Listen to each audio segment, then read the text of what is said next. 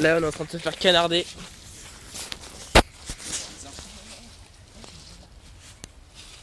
Pousse-toi